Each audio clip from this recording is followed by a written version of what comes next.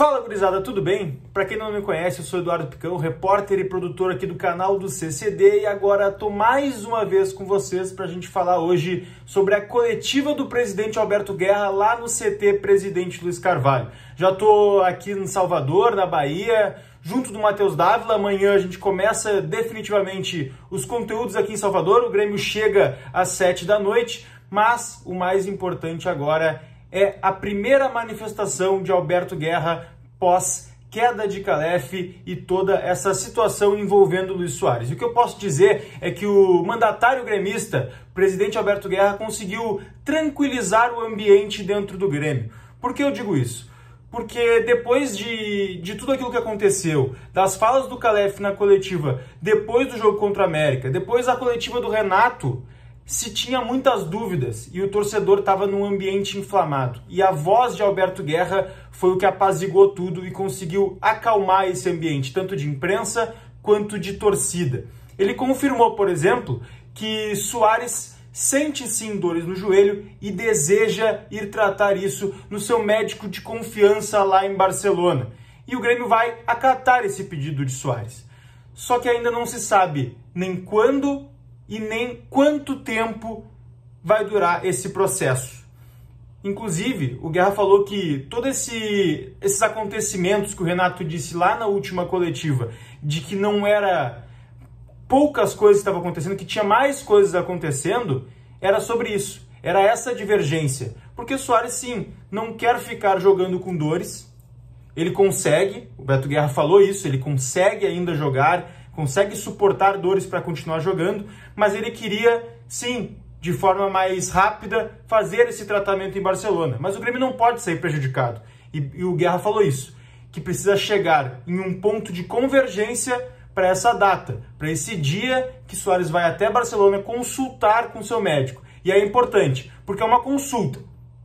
E a partir da consulta, aí sim, o Grêmio, o Soares, o seu médico e todo esse ambiente vai saber quando e quanto tempo isso vai levar. Se vai precisar feito uma cirurgia, um procedimento, um tratamento, só depois dessa consulta, depois do diagnóstico do que tem acontecido no joelho de Soares. Outra coisa, ainda sobre Soares.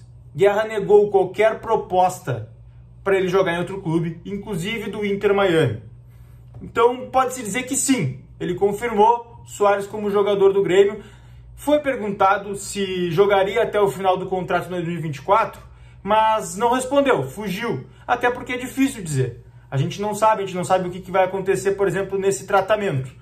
Mas Soares é jogador do Grêmio, vai continuar jogando com dores até que isso, tanto Soares quanto o Grêmio, encontrem uma data comum para que ele faça essa consulta.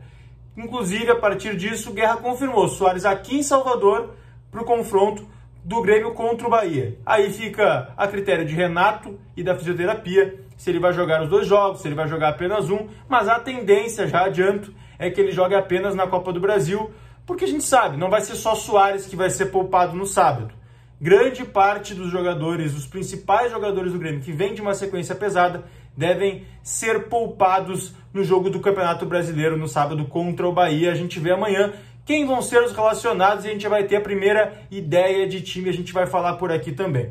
Mudando um pouco de assunto, dentro da própria coletiva, o Guerra explicou a queda de Paulo Calef. A gente já tinha a explicação pelo lado do ex-dirigente de que ele teria sido desligado por um embate, um confronto mais pesado que ele teve com a imprensa, e o Guerra explicou que não foi só esse motivo, teve outros. Por exemplo, um desalinhamento de ideias, e o presidente frisou muito isso. Esse desalinhamento de ideias foi o que levou principalmente à queda de Calef. Ele falou inclusive em recorrentes desalinhamentos, que ele teve que apelar para hierarquia, fez a hierarquia prevalecer.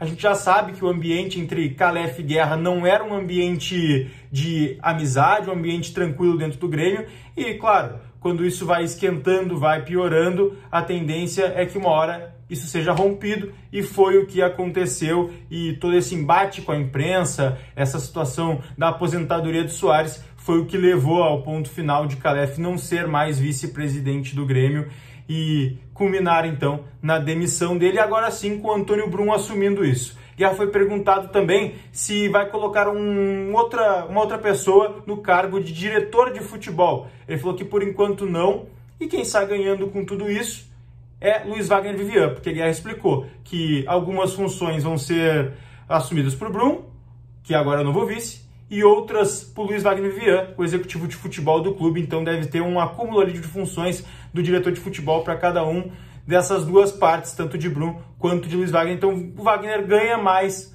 poder dentro do Grêmio. Falando sobre a aposentadoria do Soares e aquele embate com a imprensa, o Guerra deu uma frase que eu guardei porque ela é muito importante. Quando ele é perguntado se foi verdade que Soares pediu ao presidente para que se aposentasse de forma imediata devido às dores, ele disse que não poderia nem confirmar a informação, porque daí ele queimaria Paulo Calef, mas também não poderia negar, porque ele queimaria a informação dos jornalistas, a notícia que foi dada. E aí, claro, a gente faz a leitura, né? Ele não quer queimar o colega, o amigo, mas, ao mesmo tempo, em outras respostas, ele falou: Eu prefiro quem trabalha quieto, não quem fala muito e trabalha pouco. Então, juntando todas essas partes, a gente começa a ter aquela leitura de que sim, Soares pediu a aposentadoria, pode não ser de forma oficial, pode não ser, mas teve esse tipo de conversa que foi negado anteriormente por Paulo Calef na entrevista coletiva. Então, todo aquele ambiente de tensão que existiu e que foi negado por um certo momento pelo Grêmio, foi confirmado agora por Alberto Guerra. Inclusive, ele foi perguntado pelo Nicolas Wagner, uma pergunta muito boa no final da coletiva, dizendo por que, que ele não se manifestou antes.